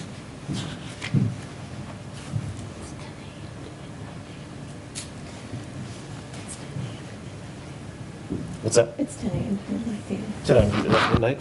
Okay. 10 a.m.? 10 a.m. to midnight, yeah. Yes. I've been here sitting very quietly, listening to it all. Can you Can you come up come and, I'd like to make a couple comments if I could. Name's Bob Baldwin. I ran the Ford dealership next door to the north for 18 years. My used cars kept denting the south, the north end of the bowling alley because there were no parking blocks. And Camilla Harris would come out and cuss me out and say, Baldwin, quit denting my building. I said, Camilla, when you're ready to sell, I'll buy it. And after four more years, she said, I'm tired of stale coffee and bowler's gripes. I'm getting out. So I bought the building. So I ran the Ford agency on one side, I ran the bowling alley. A bowling alley is often a recreational family operation. It's not to go and get drunk or party or drink beer. What you're talking about now, and I just can't believe you're so easy to accept all this alcohol and all this good party time in residential A. Now, maybe A, B, and C is a sham. I don't know, but you did it for some reason. It's a quiet residential A neighborhood. If I were you, I would certainly have a two-tiered opening and closing limit. I'd say Monday through Thursday, you need to close down no later than nine. If you want to party on Friday and Saturday, I think that community can probably accept it. But you are offering the whole damn south end of town to a money-making organization. They have to do it your way. You do not have to do it their way. You have to do it for the town of Yellow Springs way. And in many respects, we have enough alcohol establishments now for the amount of people we have. At the same time, you got to remember, when I was a Ford dealer, we had 4,985 citizens in Yellow Springs. How many of you know what our population is now? It's 3,400. It has really changed. We've lost Vernay. We've lost Bookplate. Thank goodness for Antioch uh, YSI. They have stayed about 240, 260. They have built other places, but they have maintained a Yellow Springs presence. Morris Bean had 450. I think they're about down to 250. So Yellow Springs is changing, and maybe we do need more tourism. But we don't need the tourism to the detriment of a residential neighborhood. And that means the people on the north end of town, near DeWine and Hamma, they, they should have rights for noise too. And I, I'm not down there very often, so I don't know. I don't think it's been a problem. But this is a very ambitious project. But you folks have to decide what's best for the town, not, be- not what's best for these investors. Thank you. Thank you. Just for clarification, and, and maybe for Bob's benefit, this, this strip along there, though, is a business district. Uh, The residential is behind it, but on Xenia Avenue, that is a business district, which is why it's a, It always has been. yeah, So you can run it as a business, but I'm just saying, Yeah. there's some limits yeah. Yeah. for operation. Yep. Well, and, and and that is, in s- some regard, why I think we got to start with a 10 o'clock closing time during the week instead of the 11 as they proposed. I know that they have different hours now, but they're in the, you know, the DeWine seed facility, the, the- the That's an industrial park. Industrial. It's an industrial park, And their neighbor is the bike path. but there's residential there, yes. There is a, qu- yeah, Yeah. beyond it. And, and I am satisfied with what they proposed.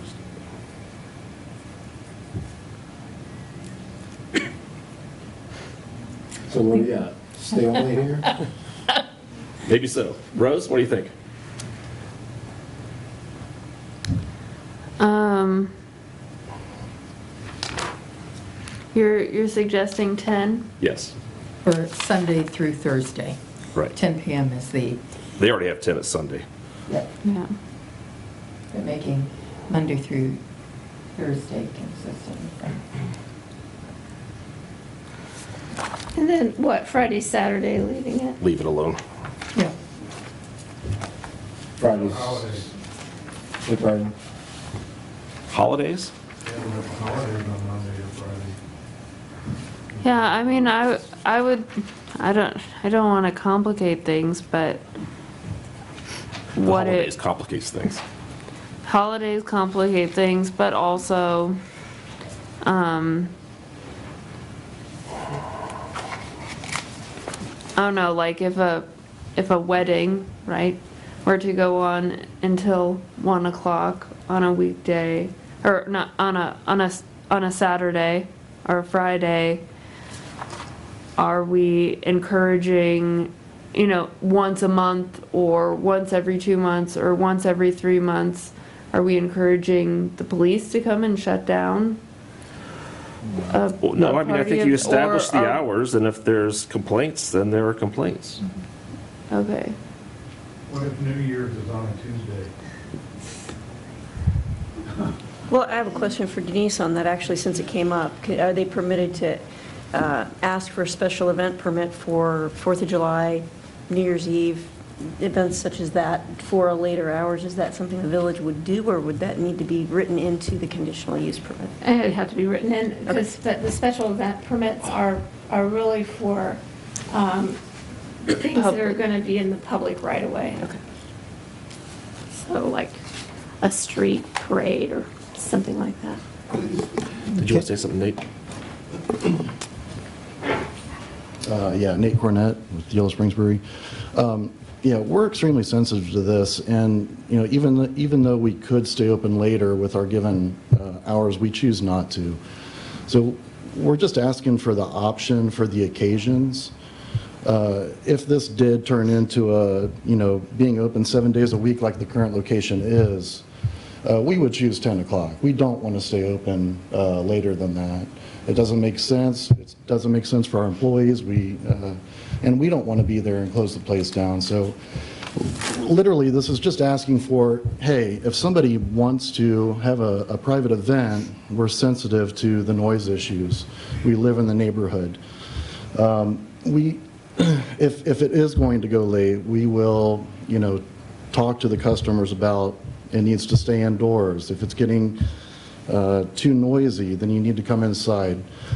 We do that currently at the location that we're at, and if there were ever noise issues, they would be the worst where we're at currently. This, this space faces a very, uh, a- a highway, basically. So I just don't see the issues, I don't see the, the noise being an issue, and the burden falls on us, the burden falls on the, the community as well to communicate with us, uh, it- you know, if there are issues, and we have always, uh, we've always worked through that with, with folks that, that are nearby, so I just wanted to add that, that last little piece there. Thanks.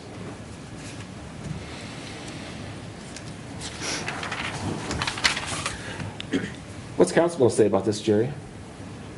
The hours. The hours, they're, well, I'm going to vote yes for whatever planning brings before us. I don't, uh, I don't see it as being a, a, a a big discussion issue because it's a special events. Uh, Mhm. And, and special events, to my definition, that's, that says that, uh, yeah, there could be a special event every night, seven days a week, but I just don't, I, I, I don't see that. But it, but what I do see is that we're kind of uh, helping two ends of the community. Because I've, I've been down to uh, the other location, and the last special event that I went to, uh, it was noisy because you had, had- had the regulars there, plus you had the special events, and then people went outside. This is going to kind of alleviate some of the congestion that, that we, that they have now. Plus, the venue, to me, is big enough that uh, an average event, if, I don't believe it, 150 is the average event. I, I- I see it being somewhat, somewhat less, and also, on a lot of special events, people come and go. They- come in, and, and if you had a special event from, from 5 to 11, you're gonna get crowds of people. And the 11 o'clock end of it is normally the smaller end, not, not the larger end. So, uh, and, and, and if, if council chose to have a long discussion on that, and I was still there, I would be accepting the planning's recommendation, which I hope is the hours that they propose. If it's less, I'd accept that. Okay. Okay. Rose, what do you thought, think? You gonna stick with the 10? Uh, I mean, we really, like, we, I think even if we went back to our previous population, we do have a lot of, uh, we do have venues that, are, you know, for things and multiple things happen on the weekends and it's, I think it would be rare that a 150 people would stay until 1 o'clock at night, making a lot of noise. Well, right now, it's midnight, so. Yeah. Midnight or even. Or midnight. And 11 on a Or weekday. even 11, I think, Yep.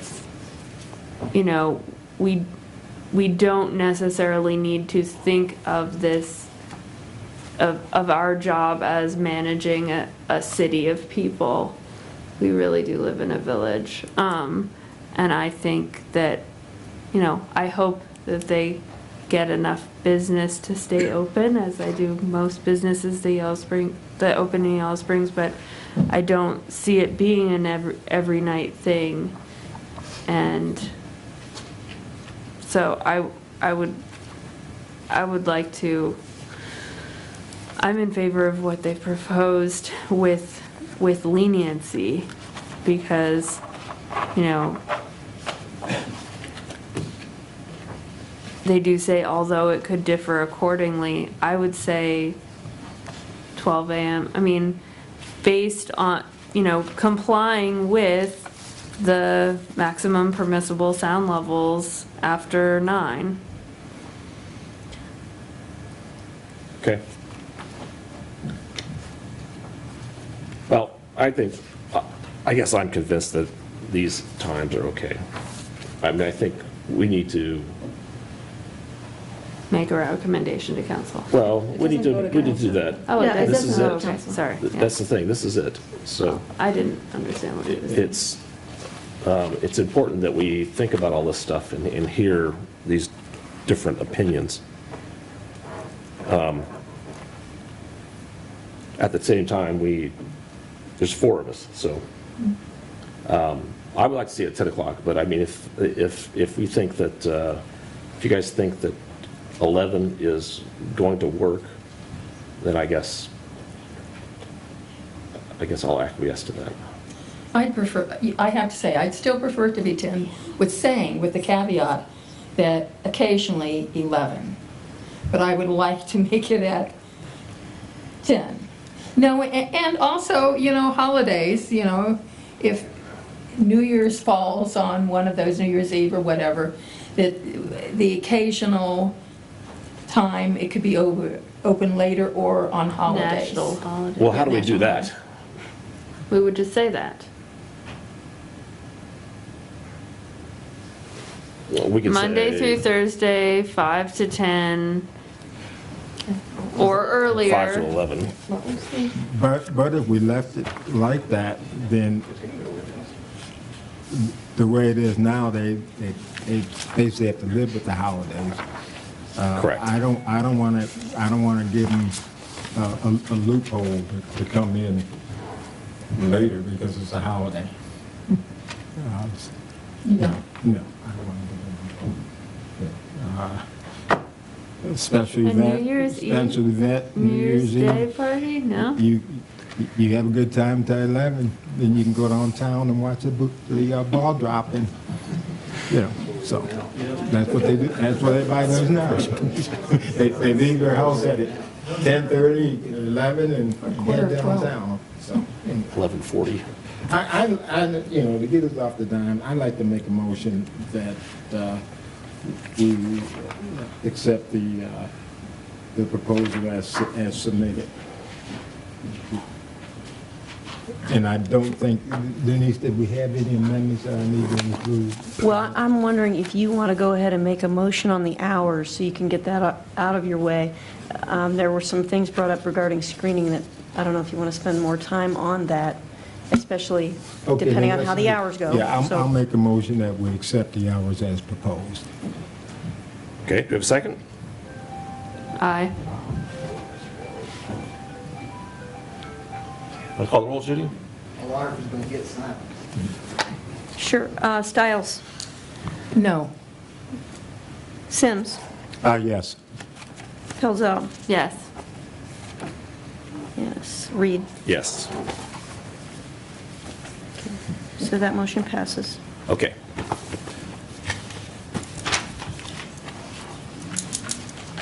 So there was a question about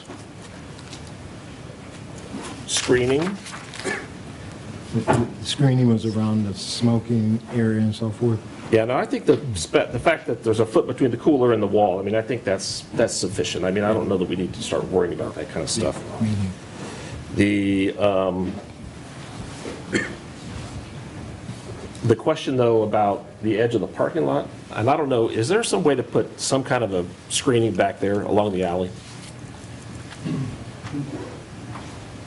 There's, you can always do, you can always put a fence at the edge of the asphalt, but I'm telling you that from a safety point of view, you don't want to create blind spots mm-hmm. down the alley.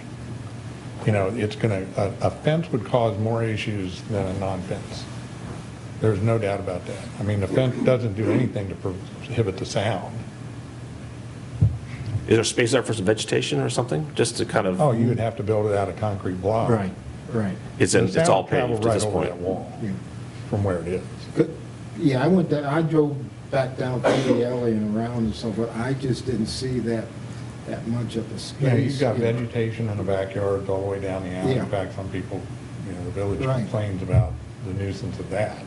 Um, But I just, you know, from a- any kind of parking lot where you've got a blind spot created, it just becomes junk collecting, nightmare, trash, and, you know, I just don't see an advantage. It's not going to solve the problem of sound. Yeah, it's not a very pretty alley right now. Yeah.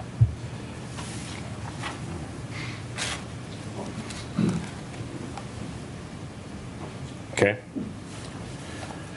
Okay, what Is there anything else we need to talk about? You think anything else you, you missed?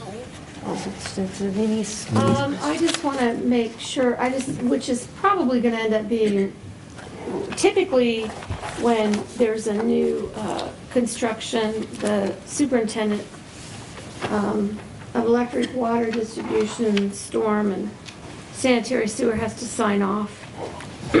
So I just want to make sure that the staff has to sign off on the design of this new storm swale. Okay, Yeah. okay. So you want in, that in the approval that uh, Yellow Springs staff sign off on, I just, yeah, I just want, I want someone. storm. on the storm From the staff. to- design? You to say take a utilities and look at stormwater. the new, The utilities also?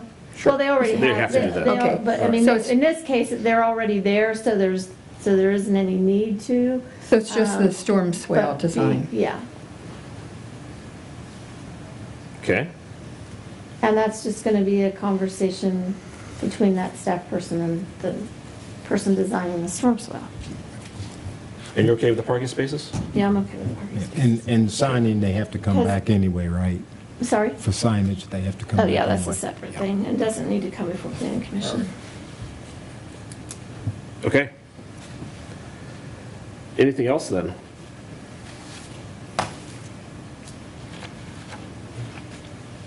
Do you want to make the motion? Yeah, I'd like to make a motion that we approve the uh, con- conditional uh, use with the uh, storm swale and uh, utilities being signed off by the village. Uh, Our, do we say the village, do we say? uh, Just the utilities Uti- uh, superintendent or, the, yeah. uh, Utility superintendent. And it says the special events brew pub and retail store. And the retail store is permitted already, so it Right. doesn't Okay. need to be a part of this. So it's just, I second it. Okay, Judy? Okay, so let me just get that straight. Um, So I've got the, the approval language as it is in the, in Denise's recommendation. And do we need it to say reduction in number of parking spaces, or are we? uh, is it- Yeah, I would say it needs Okay. to say that. Okay, and then I've got. Well, storm- parking spaces With as the- with the- proposed as with the pro- bike rack. Right, that's how you can say it. And it. the number of parking spaces. As proposed with the bike rack. Do you need, do you want to give a hard number there? There was 48. Bike racks. So, so you're approving 40, um, um, minimum of 48 parking spaces with bike racks provided? Okay minimum 48. And the storm swales design is to be signed off um, by the utility superintendent Yes. for the final design. Anything on outdoor coolers or lighting? No. Okay. And I've got a second by Stiles. Are you comfortable? Everyone's comfortable with that? Mm-hmm. Mm-hmm. All right. Sims? Yes. Stiles. Yes. Pozell. Yes. Reed? Yes. Okay, And uh, one more thing, Judy, you think we had the minutes ready before I leave so I can help approve? Yeah. By, uh, by 9 o'clock, or did you mean by? okay. Took a while. I can come back. Yeah, you can come back. Welcome back. So, so it's possible. I just have to find the minutes for that. It's still relatively new as a code. Yeah, right, it's only four years. We're still finding We're stuff. still finding stuff. And Denise and Matt, I am not going to be here in January, February. Okay. Okay, new business. Um, So the other new business is that, um, is I, I'm up in February, and I told Judy that I was not going to reapply. I've done my 10 years. yeah. So, 10 years. Matt. so Rose, be ready. So you guys need to think about, you know, I mean, ultimately, all the chair's got to do is run the meeting, right? Yeah. I mean. and You do move- a great job, Well, I just though. try to move things You do. along, is all. And you're funny, you're charming. Oh, thank you very much. Yeah, and, and the chair, the chair doesn't have, the- their vote is no more powerful. Exactly. Yes. Than mine. Mine is no more powerful than theirs. And, and that's the way it's supposed to be. So which- whichever one of you thinks, do you want to sit here and try to move the meetings along? Think about it and, because there's an opportunity there. Yeah. And Jerry, you know, I mean, just because you're going off council doesn't mean You you can't could come come back back on on. planning, I yeah. know, I, I, I think there's something written in there that. uh, I don't think so. That council members cannot be appointed to a commission until so many years after they've served. Um, You better work on that on your last meeting. Can you put under agenda planning? Yeah, put it in the charter, right? I thought I read. Um, and I just wanted to say, um, also that, uh, under new business, that this is Jessica's last meeting because she's moving on to other things. So, Really? yeah. Yes. So. Wow, it's we major won't- turnover here. Yeah, Well, we'll miss you, good luck. Yeah, You too. so, Thank you. But you're still here, Denise. I'm still here. You gotta put with me still. So, okay, And so, Judy? So, so far, so good. Um, no big changes here yet. Um, But I was going to say, so as with any board or commission, Matt, you're more than welcome to stay on until a, a, a person is found. I I need to place the ads in the newspaper. That process moves forward. If you're willing to sort of see the commission through, uh, well, your term ends February, is that not the case? So, I mean, uh, we can get it rolling now. So if you're, So does that mean you attend the February meeting? He I can, took it to he be can attend no. until June if we don't, I mean, I'm not saying we're going to make that happen, And, but and finally, I wanted to mention though too, that this is Susan's last planning commission Right. meeting as well.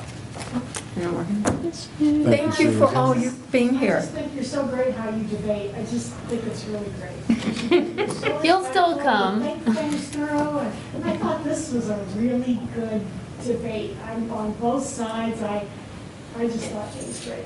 It's great. And Spencer's gonna be wonderful. Well, welcome aboard, Spencer. Okay, well, with that, What, should I tell Judy to go ahead and uh, start advertising? yes. Okay. Yes, please. Okay. Judy, start advertising. Oh, I thought you were going to throw your name in the hat. No. Should you tell I'll Judy to put your So name in did the hat? you mention also that we have a new planning commission uh, Alternate. alternate? You did mention that, Mr. Wood. Yes, Mr. Yes, uh, Williams. Williams. Williams. Yeah, Sorry. Okay, well, with that, do we have a motion to adjourn? I move we adjourn. All in favor? Aye. Aye. second on that? Uh, yeah, Oh. somebody did. Yes, Yes. someone did. Jerry. They all did. All right, Okay, thanks, everyone. Thank you. very good meeting, folks.